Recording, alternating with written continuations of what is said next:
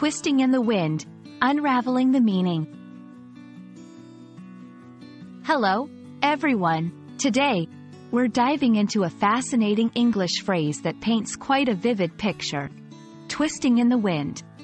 This expression is rich in imagery and meaning, and understanding it can add a colorful layer to your English communication. Let's explore what this phrase means, where it comes from, and how you can use it in your own conversations.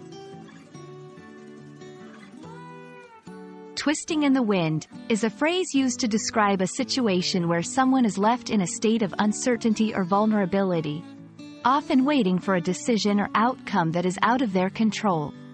It evokes the image of something being tossed and turned by the wind, unable to find stability or direction.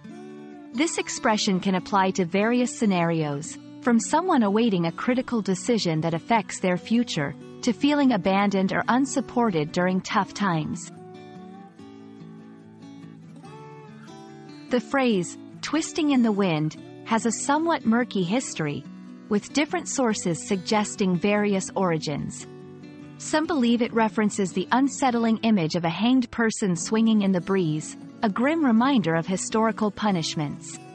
Others suggest it might have roots in older sayings related to weather and farming, where crops or objects left outside would literally twist in the wind.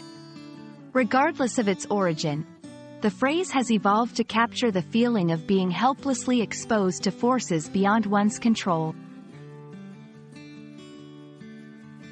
Understanding a phrase is one thing, but using it effectively is another.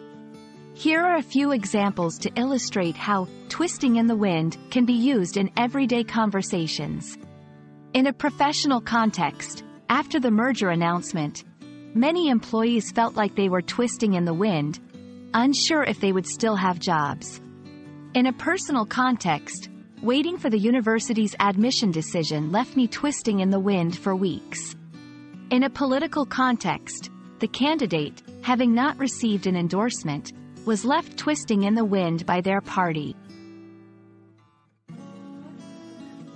And there you have it, the meaning behind the phrase, twisting in the wind. It's a powerful expression that vividly conveys the feeling of uncertainty and vulnerability. We hope this exploration has not only expanded your vocabulary but also enriched your understanding of the English language. Remember, language is a window into culture, and every phrase has a story. Thank you for joining us, and we look forward to uncovering more linguistic treasures together. Stay curious, and happy learning!